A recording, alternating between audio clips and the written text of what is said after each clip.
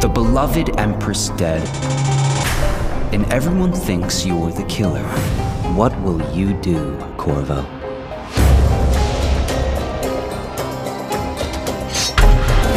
Dowd, my old friend, what ending will you make for yourself?